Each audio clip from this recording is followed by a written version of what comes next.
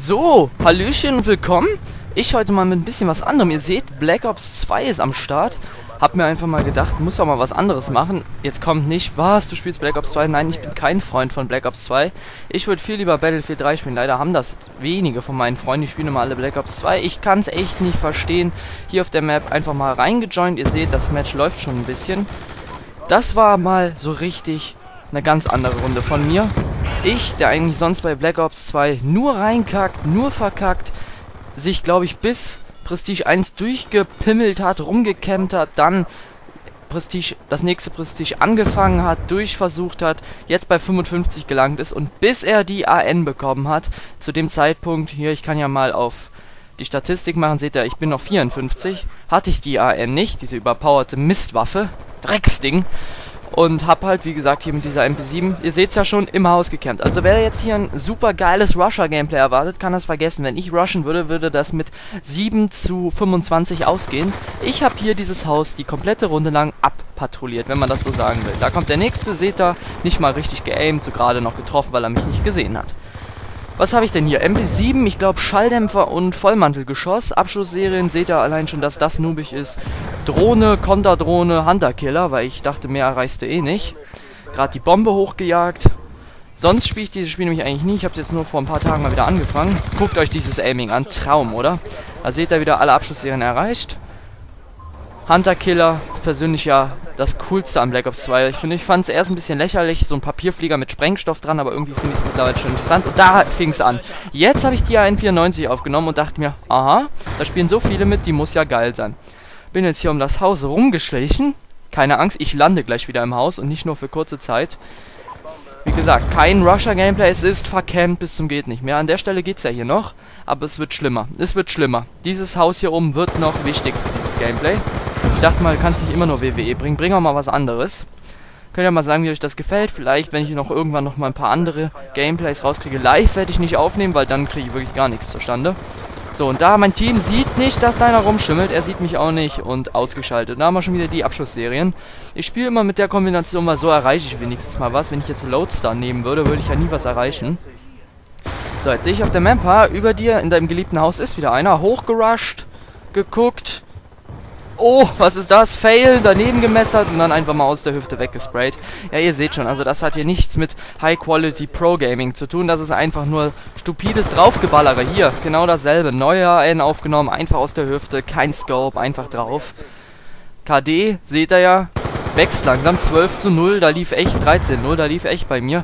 Und ich kann einfach nicht verstehen, wie man an diesem Spiel so Spaß haben kann also das war jetzt wirklich eine Ausnahme, diese Runde bei mir. Es wird ein nette KD, es wird eine 8er KD am Ende sein, über eine 8er KD. Hier wieder auf dem Fensterbrett stehe ich hier rum, auf diesem Dach und spray alles weg. Er sitzt in der Ecke, ja. Und ich halt einfach mal sinnlos drauf, treff nicht. Ja, er hätte nur weglaufen müssen. Jetzt haben wir natürlich noch den Orbital-Satellit, der bringt natürlich noch mehr. Ja, und dann hat er verkackt. Also bei Battlefield, da reise ich dauerhaft bessere Scores als hier mal. Das ist also, ihr müsst wirklich bedenken, ich mache sonst hier nie solche Gameplays. Also am Ende wird es echt gut. Jetzt sind wir bei 17-0 angelangt. Ja, und hier, ich stehe wie gesagt mehr oder weniger nur hier in diesem Haus mit der AN, diesem Mega-Beast, überpowerte Waffe schlechthin. Ich habe sogar im Account momentan, ich glaube, als ich das aufgenommen hatte, hatte ich noch eine 1,4er KD. Fragt mich nicht, wie ich an so eine KD gekommen bin. Bei Battlefield habe ich, glaube ich, 1,6 oder so. Runtergesprungen und das war der Fehler. Runtergesprungen, weil ich dachte, den kriegst du und dann stand hinter mir schon einer. Ja, und da seht ihr, ich habe die AN noch nicht. MP7. Also ich denke mir, rennst du wieder zur selben Stelle, pimmelst du da wieder rum, vielleicht liegt da wieder deine schöne AN94. Ah, erster Mann geholt und jetzt heißt es natürlich, wo ist die AN94? Die brauchen wir. Und gleich habe ich sie, glaube ich, wieder, weil da ist sie. AN94. Lag da schön rum. Da ist der nächste Gegner wieder einfach drauf. Sub, sub, sub ist der Gegner weg. Also dieses Spiel hat echt Spaß gemacht. Ihr seht, wir sind bei 20 zu 1. Allein guckt euch die anderen KDs im Raum an. Man kann mir doch nicht erzählen. Kann man mir einfach nicht erzählen. Zum Beispiel Gegnerteam, dass man mit 2 zu 12 noch Spaß an dem Spiel hat. Also, wenn ich bei Battlefield solche KDs reißen würde, dann würde ich das Spiel nicht mehr spielen. Wenn, ist es meistens eine 1,5er KD, mindestens bin kein Overpro, aber ich schaffe es zumindest bei Battlefield 3 so zu spielen auf der PS3, dass ich nicht im Minusbereich lande. Ich habe leider die ersten 40 Level bei Battlefield 3 verkackt, sonst wäre meine KD mit Sicherheit besser. Ah, da versuchen sie schon mich mit der Granate zu ködern, aber die geht voll daneben. Ihr seht, ich stehe hier mehr oder weniger nur auf dem Dach rum. Es ist wie gesagt nichts, was mit viel Skill und Rusherei zu tun hat. Mehr oder weniger rumgecamper auf dem Dach. Abschussserien sind halt immer dieselben und es ist auch immer dieselbe Runde. Ich bin halt gut abgegangen. Ist jetzt gleich vorbei, letzten 15 Sekunden, da dachte ich mir, ach, da ist doch noch einer, aber dann kommt er nicht raus. Und jetzt ist im Haus wieder Action angesagt. Und da ist er wieder weg. Einfach mal aus der Hüfte, komplett sinnlos, rumgesprayt und einfach mal getroffen. Diese Waffe ist echt unglaublich stark. Da, der nächste. Einfach, da, ich glaube, ich habe ihn nicht mal richtig getroffen. Guckt mal auf den letzten Hitmarker, der war irgendwo neben dem Körper. Da fliegt wieder der nächste Papierflieger los. Konterdrohne, damit sie mich wieder nicht sehen können. Ich habe keinen Ghost drin, also so noobig bin ich dann doch nicht. Ich habe nur Hardliner und Plünderer, aber das haben ja viele. Aber Ghost, das ist mir dann doch zu widerlich. Das hatte ich auch schon bei Black Ops 1 nicht. Ein Grund, wieso ich mir dieses Mal Black Ops Ghost auf keinen Fall kaufen werde. Ich hatte schon gesagt, nein, Black Ops 2 kaufe ich mir nicht, das wird schlimm. Hab mich überreden lassen bei Freunden meint, na komm, sonst zockst du ja gar nicht mit uns. Habe ich es mir gekauft und was ist passiert? Sie haben es entweder nach dem ersten Prestige verkauft oder spielen es nicht mehr. Und jetzt spielen wir es halt, wie gesagt, noch in einer kleinen Runde. Ja, das war der erste Teil des Gameplays. 25-2 am Ende nochmal blöd gestorben. Also das sind echt Raritäten-Gameplays. Bei mir sowas werde ich wahrscheinlich nie wieder hinkriegen. Jetzt müsste, glaube ich, auch noch der zweite Teil kommen, wenn ich mich nicht irre. Oder? Ja, da kommt noch der zweite Teil. Seht wieder MP7 Schalldämpfer Vollmantelgeschoss. Und es geht wieder zum altbekannten Ziel, ins B-Haus. Und da wird jetzt wieder schön rumgecampt. Ja, seht ihr? Ich warte hier headglitschend hinter dem Bus. Ja, erster Kill. Abgeduckt. Zweiter Kill. Gegner ausgeschaltet. Wunderbar gemacht. Ja, so kann man sich hier an die Killserien ranarbeiten, indem man ein bisschen rumhängt. Einer aus unserem Team jetzt auch noch mit dem Loadstar. Also das ist natürlich die komplette Zerstörung für den Gegner. Und ich warte wieder, wie es sich gehört, in meinem B-Haus. Ich glaube, da hätte ich schon fast Wurzeln schlagen können und Miete zahlen können, so oft wie ich da war. Kommt gerade nichts, ich renne hier sinnlos rum. Ich habe mir aber auch gedacht in diesem Moment, nee, gehst du nicht zu weit. Aber da habe ich ihn gesehen. Und jetzt wusste ich einfach, es ist Call of Duty, Achtung Camper. Ich wusste es einfach. Und ich habe da gerade nicht im Gameplay live die Waffe durchblitzen sehen. Ich wusste aber einfach, er sitzt da. Rennt dann vorbei, umgedreht, er noobt rum und er ist weg, MP7. Klar, das ist jetzt auch wieder nicht das Beste. MP7 ist ja, glaube ich, eine ziemlich OP-Waffe, würde ich mal fast behaupten. Aber ich wusste es einfach. Ich dachte mir in dem Moment, Achtung, es ist Call of Duty, da muss einfach einer campen. Am unmöglichsten Ort da hinten in dieser Tankstelle, wo eigentlich keiner sonst langläuft. Also nicht viele auf jeden Fall. Jetzt hier wieder, jetzt wird's, jetzt wird's glaube ich interessant. War das die Aktion mit dem Haus? Ja, jetzt kommt gleich noch eine nette Szene. Jetzt kommt der Hausbash, aka Lucarano. Hier, erstmal der weg. Hätte ich auch messern können. Und da kommt der nächste durchs Fenster. Sah aus wie ein Gegner, war aber nur einer aus meinem Team.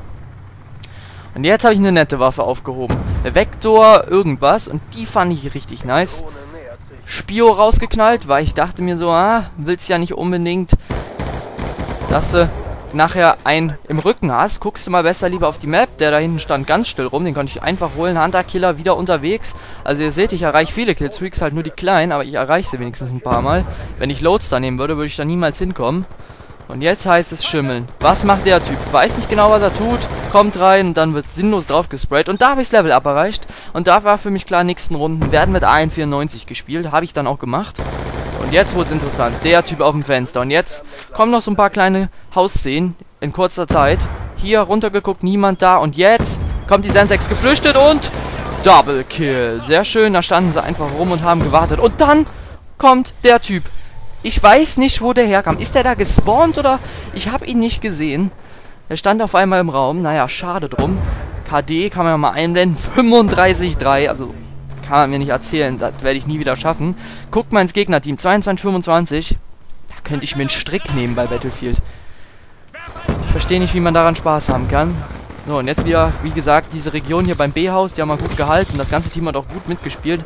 Ein oder zwei Freunde waren, glaube ich, dabei. Ich gucke mal eben. Messi. Ja, Messi ist ein Freund von mir. Und der hat halt mit mir ganz gut aufgeräumt. Der hatte halt auch nette Killstreaks dabei. Auch immer eine Drohne, wenn ich mal keine hatte. Und den haben wir jetzt hier schön durch die Wand. Und den, oh, den habe ich nie gesehen.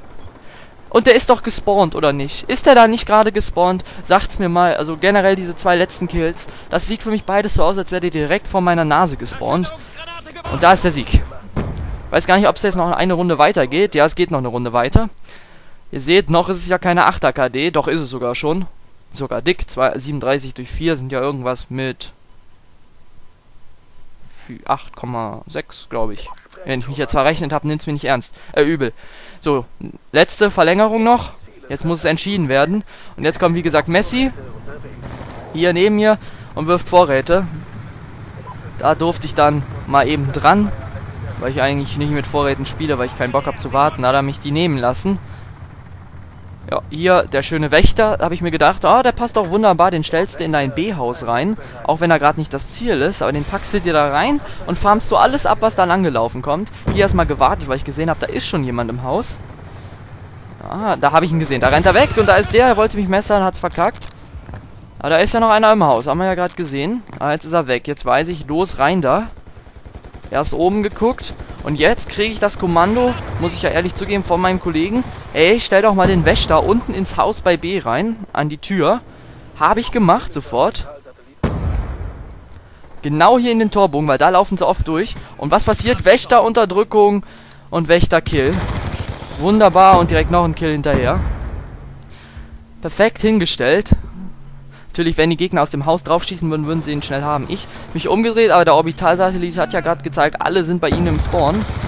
Ordentlich draufgesprayt, Assist bekommen. Und jetzt, wo habe ich gesehen, links, habe ich mich dann auch nach links gedreht. Ne, ich warte hier mehr oder weniger noch. Und da kommt der nächste, so gerade noch bekommen. Hunter-Killer muss jetzt raus, Drohne muss jetzt raus.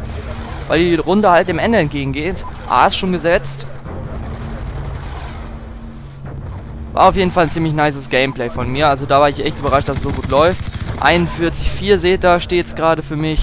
42,4 schon. Und da sterbe ich. Durch die MP7 in den Rücken. Schade, da ist der fünfte tot und das wird auch der N die NKD sein. 42 zu 5, glaube ich. Das wird, glaube ich, das Ende sein. Bin mir gerade nicht sicher. Oder? Ja, Loadstar von unserem Team natürlich auch noch. Und guckt mal, wer hier neben mir steht. Ich habe ihn nicht gesehen. Guckt, spult noch mal ein paar Sekunden zurück. Der Hammer. Ich habe ihn einfach nicht gesehen. Ja, und da haben wir gewonnen. Bei uns im Team, der war auch noch auch gar nicht so schlecht hier. Der war richtig gut. 58 zu 5. Der Level 44er. E-Ranger Assi, wie auch immer. Ja, war eine nette Sache. Hier nochmal die Statistik. Hab halt mal was anderes aufnehmen wollen. Hoffe, das hat euch Spaß gemacht. Wenn ihr es nochmal wollt, sagt Bescheid. Das liegt natürlich daran, ob ich schon mal ein geiles Gameplay habe. Sonst schickt mir mal Gameplays über Skype. Vielleicht geht das ja. Wir sehen uns bis dahin. Ja, im alten Sinne, hell yeah!